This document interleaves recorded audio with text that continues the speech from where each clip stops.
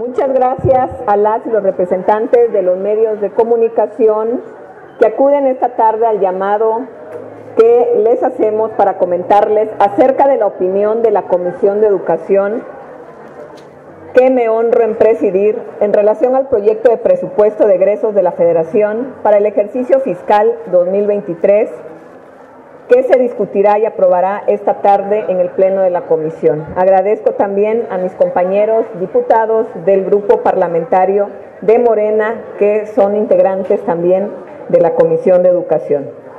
Al respecto, quiero comentar que el proyecto de presupuesto para el sector educativo será de 959.958 millones de pesos, lo que representa un aumento de 4.6% en términos reales. Este aumento se traduce también en un incremento de 8.8% en proyecto de infraestructura social, un 6.5% más para el mantenimiento de los planteles escolares o un aumento del 85.4% al programa La Escuela es Nuestra, con todos sus componentes, incluyendo el de alimentación y jornada ampliada. Estos aumentos al sector los valoramos como una muestra del compromiso del gobierno del licenciado Andrés Manuel López Obrador de seguir impulsando a la educación como uno de los principales motores de la transformación de nuestro país. A pesar de las condiciones difíciles que enfrenta la economía mundial, de nueva cuenta demostramos que sin corrupción y con austeridad alcanza más.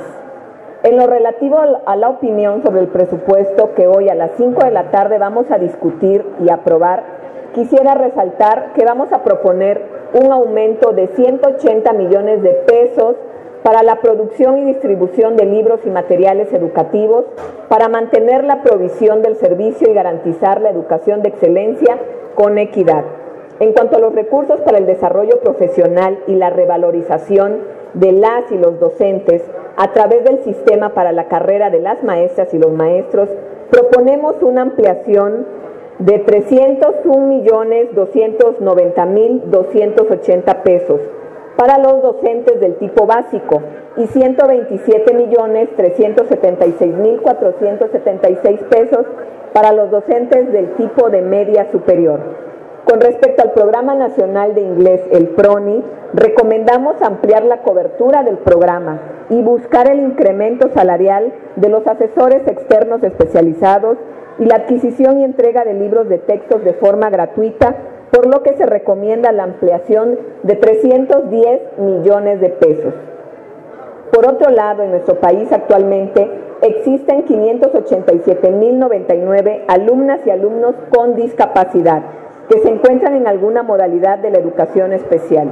Por ello, proponemos también una ampliación de 141.883.439 pesos para el fortalecimiento de los servicios de educación especial, dado que este programa es la principal herramienta para que nadie se, se quede fuera del sistema educativo nacional y se abone a eliminar las barreras de acceso, aprendizaje y participación. Asimismo, como es conocido, uno de los avances más significativos de la reforma de 2019 fue el reconocimiento de la obligación del Estado de impartir educación inicial, que atiende a niñas y niños de 0 a 3 años. Por tanto, estamos proponiendo ampliar en 196 millones de pesos el presupuesto del programa de expansión de educación inicial.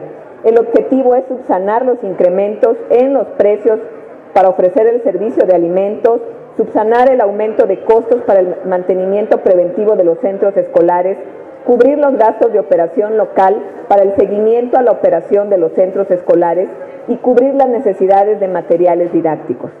Por último, quiero señalar dentro de los tipos y niveles educativos, la educación media superior, sin lugar a dudas, requiere de una especial atención por parte de las autoridades educativas.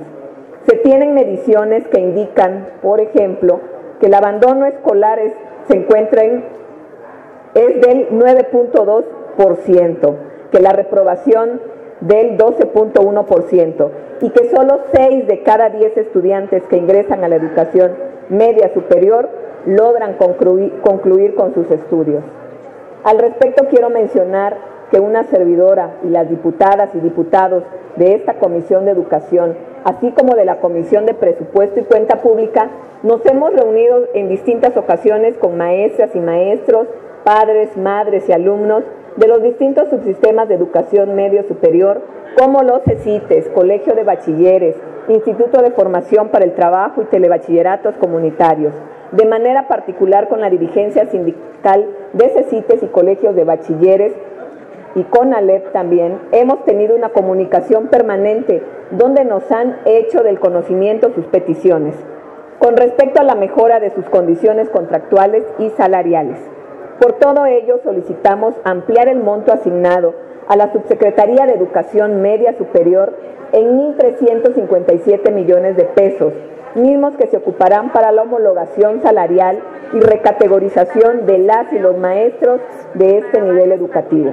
Quiero resaltar aquí que es la subsecretaría donde el titular es el maestro Juan Pablo Arroyo, ha estado en permanente comunicación, muy preocupado por buscar la mejora de las condiciones de los subsistemas, tanto materiales como financieras y académicas.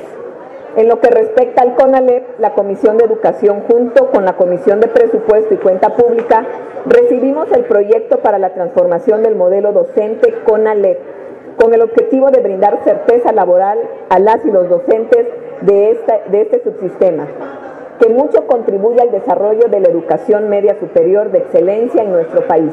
Por ello proponemos la ampliación de 1.800 millones de pesos a través de la Subsecretaría de Educación Media Superior y el FAETA, como es posible observar en la Comisión de Educación, reconocemos en la propuesta que envía la Secretaría de Hacienda la intención de seguir construyendo un nuevo sistema educativo nacional y fuerte y que sea la llave de las mexicanas y mexicanos a un futuro mejor, con más oportunidades de desarrollo y con bienestar. Asimismo, considero que los ajustes en la opinión de la Comisión de Educación abonan a fortalecer aquellos puntos que los distintos actores del sistema educativo nos han manifestado que es necesario poner mayor atención, siempre buscando el beneficio superior que es el de las niñas, los niños, adolescentes y jóvenes. Esto que les comento es en cuanto a el tema de presupuesto de la Comisión de Educación y bueno, a petición de, concluimos con esto eh, el tema, a petición del compañero diputado Félix, que es de Nayarit, él quiere hacer un mensaje, quiere tomar este espacio para dar un mensaje especial con respecto al tema del huracán. Pero por eh, lo que corresponde al tema de educación de esta comisión, de los compañeros y compañeras presentes, con esto este, estaríamos concluyendo. Adelante algún diputado o diputada que desee este, lo Si alguien quiere comentar algo adicional, con todo gusto, este, con respecto al presupuesto, lo puede hacer. ¿Algún compañero, compañera? Diputado Félix, te cedemos el espacio. Gracias. Como ya lo dijo la compañera, mi nombre es Félix Durán, diputado federal del Distrito número uno de Nayarit. Muchos de ustedes ya saben que este fin de semana tuvimos un siniestro en el estado de Nayarit, principalmente en la parte norte. Ese siniestro devastó ocho municipios, que son San Blas, Santiago, Tuspan, Ruiz, Rosa Morada, Tecuala, Caponeta y Guajicori. Por eso estamos pidiendo la intervención inmediata del gobierno federal para que libere recursos de forma extraordinaria y para que declare zona de desastre.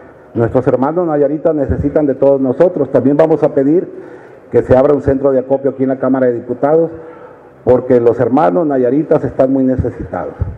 Lo hemos hecho todo el tiempo, hemos sido solidarios y desde la Cámara de Diputados vamos a seguir haciendo, gracias a los compañeros de la Comisión de Educación que nos permitieron esta conferencia de prensa, decirle a los nayaritas que no están solos, que su diputado federal va a gestionar para que esos recursos lleguen lo más pronto posible e inmediatamente se apliquen, porque los nayaritas estamos pasando por una situación muy difícil. Año con año nos ha pasado esto, el año pasado también sucedió lo mismo, pero ahora no, no esperábamos así tan fuerte y llegó esta inclemencia del tiempo muy grave. Entonces le pido la solidaridad a todos ustedes, compañeros, amigos, diputados, para que hagamos un esfuerzo para que los nayaritas reciban algo de, nuestro corazón, lo, bondadoso que somos el pueblo mexicano y el pueblo nayarita se los va a agradecer por siempre. Gracias a todos y vamos a seguir pugnando porque esos recursos lleguen y repito que se declare zona de emergencia lo más rápidamente posible. Gracias a todos y decirle a los de Nayarit que estamos con ellos. Gracias. Bueno, yo ya para cerrar, digo, ya habíamos cerrado el tema de presupuesto, pero este ya esto es ah, una información adicional para nuestros compañeros y compañeras docentes, asesores técnicos, pedagógicos de todo el país. Este mensaje es dirigido a ellos, comentarles que en la Comisión de Educación nosotros aprobamos un dictamen para atender eh, la demanda de todos los docentes de este eh, asesores técnicos pedagógicos que haremos lo propio eh, aquí en el Pleno, solicitaremos al, al, este, al responsable de la mesa directiva pues que lo más pronto posible pueda subir ese dictamen que en la comisión todos fue por unanimidad eh, que lo aprobamos, bueno, necesitamos que, y hacemos el llamado al, diputado Santiago Krill, para que en la medida de lo posible, lo más eh, pronto que se pueda, ¿verdad?, eh, pueda subir este dictamen al Pleno, lo puedan ser votados todos los diputados de aquí, de, de la Cámara, ya que esta es una situación, un reclamo del magisterio a nivel nacional y que todos eh, los diputados, aunque no sean de la Comisión de Educación, nos han estado preguntando de los diferentes estados qué ha pasado con este dictamen. Pues bueno, haremos lo propio como comisión, solicitaremos que a la brevedad se pueda discutir y de, por supuesto, que se envíe al Senado, hacemos el llamado también a la senadora eh, presidenta de la Comisión de Educación, eh, la senadora Antares, que eh, también le dé celeridad a esta demanda de los asesores técnicos pedagógicos allá en el Senado y bueno, que también pueda ser aprobado este dictamen y se le pueda hacer justicia a los eh, eh, asesores técnicos pedagógicos. Este era el mensaje adicional que queríamos mandar. Adelante, bueno, vamos a aprovechar los micrófonos. La diputada este, son... No, ¿quieres hablar del tema? Adelante diputada. Muchas gracias, pues, este, diputada presidenta de la Comisión de Educación. Eh, les quiero comentar que todas las fracciones parlamentarias estamos eh, respaldando este dictamen. Este dictamen fue aprobado por unanimidad en la Comisión de Educación eh, de esta honorable Cámara de Diputados y todos los legisladores ya signamos este dictamen. Por lo tanto, eh, lo único que estamos en espera y que deseamos que sea antes de que concluya el periodo es que sea enlistado para que pueda pasar al Pleno y que todos los legisladores de esta 65 quinta legislatura puedan eh, respaldar este dictamen, que estoy segura así será, porque todos, todos, todos estamos con el magisterio mexicano. Gracias. Bueno, nuestra diputada Sonia ha pedido también el espacio para tratar un tema diferente. No sé si alguien quiere hablar de los técnicos pedagógicos ya para cerrar aquí el, espacio. Bueno, adelante, diputada Sonia. Adela, perdón. Soy la diputada Adela Ramos de Chiapas. Gracias por el espacio y desde aquí de la Comisión de Educación Primeramente agradecer a la sociedad civil, a, las organizaciones que generaron centros de acopio para apoyarnos en el estado de Chiapas con el paso del huracán Car, donde hubieron también decesos.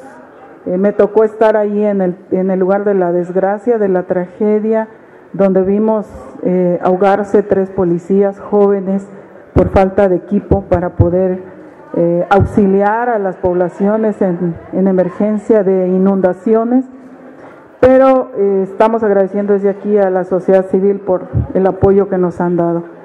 También pedir al gobierno y a las instancias responsables, competentes jurídicamente para que se pueda retomar, intervenir y aclarar los casos de intoxicación de nuestras escuelas de educación básica en el estado de Chiapas, donde ya van varias escuelas secundarias de Tapachula, en mi distrito, en Bochil, Chiapas, donde más de 100 alumnos fueron intoxicados.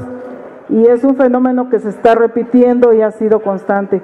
Pedimos que por favor se protejan a las escuelas, a nuestros alumnos que son menores de edad y que de manera inmediata y urgente se pueda tomar cartas en el asunto y que las instancias que tengan que intervenir, por favor, hago un llamado al gobierno federal, al gobierno estatal y también municipales para tomar las medidas de prevención en las escuelas de educación básica. Es cuanto, gracias. Muchas gracias, ya es todo.